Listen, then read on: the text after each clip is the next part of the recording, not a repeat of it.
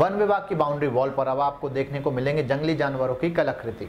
One विभाग द्वारा अपने कार्यालय के बाहर बनी बाउंड्री वॉल पर वन्य जीवों की कलाकृतियाँ पेंटिंग बनाई जा रही हैं, जिससे लोगों को उनके बारे में जानकारी हासिल हो।